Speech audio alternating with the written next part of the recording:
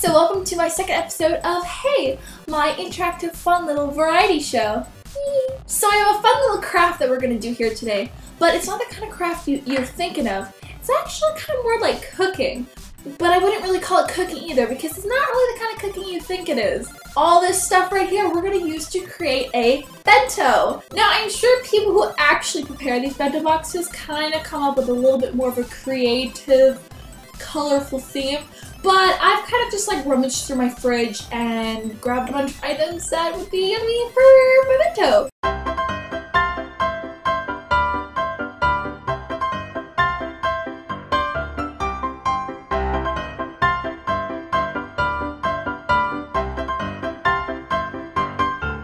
And here we have our final product, my master bento cooking skills. Mm -hmm. Here we have the top of my bento, which is the snack portion.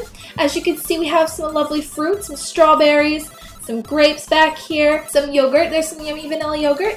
And it closes up like that so you don't spill it anywhere. Brilliant, brilliant. And then we have some lovely tuna right there. I don't really know why the tuna is there. It was kind of just left over in my fridge. And I was like, hey, tuna, tuna, why not? Why not? And then we have this, which is just basically two pieces of bread with jam in the middle. And then I cut a little star um, it's kind of getting warped now, but uh, yeah, and those that's the shape of a cat. Oh, so cute, so cute. Moving on now to the main course and dessert part of my bento. It is actually a rice in the shape of a star, but it didn't really stick together that well because apparently I fail at making rice stars. And then I have little carrots, carrots all around because they're cute. And um, then I have some, uh oh, carrots falling, carrots falling. And we have some salmon. Good old healthy salmon gets your omega-3s going. Cute little soy sauce container. I thought it was adorable. And then of course you cannot forget cat. Not for you! cat is in my bento! No! Don't eat my bentos, kitty! Continuing on. So on my lovely pink rabbit tinfoil, I have this beautiful chocolate heart. So yeah, I think it's I think it's a pretty good first attempt at making some bentos. It's it's not to um, Japanese standard because they're crazy and they can do ridiculously good bentos. But yeah, it's not bad. It's not bad. It's it's edible. It's very edible. And that's what counts, right? Yeah. So here's your daily do. I want to see your guys' bentos.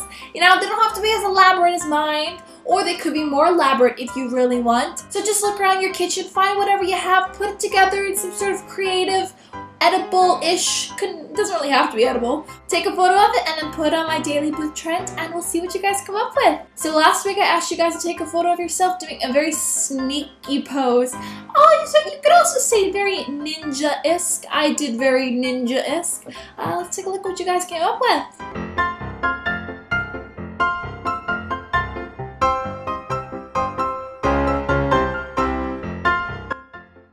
So now that I have my lunch all packed and ready to go, let's give away some postcards. So last week I asked you guys to finish the phrase, I'm so excited about the show, I just... Here's last week's winner. Now this week, to go along with the theme of very, very cute, because I think the bentos are ridiculously cute, I have this really, really cute postcard to give you guys. Ah! It was from when I visited the Chengdu Panda Reserve. So to win this postcard, all you gotta do is leave a comment below finishing this phrase. If I was a panda, dot dot dot dot dot. Now it can be as long or as short as you want it to be, but I'm looking for a very fun, very creative cat. Tiger Lily!